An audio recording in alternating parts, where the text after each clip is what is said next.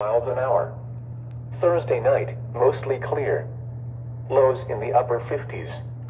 East winds 5 to 10 miles an hour. Friday, sunny. Highs in the mid 80s. Southeast winds around 5 miles an hour.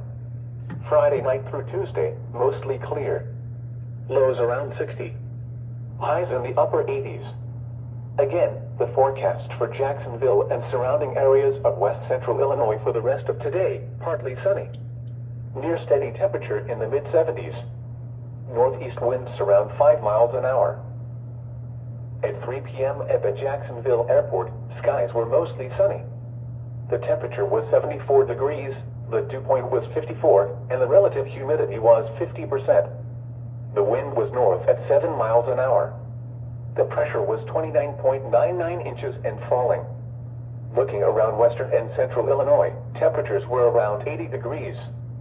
At Quincy, it was sunny.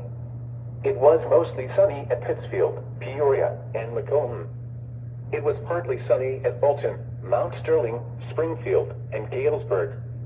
And once again at 3 p.m. at the Jacksonville airport, under mostly sunny skies, the temperature was 74 degrees. Looking out.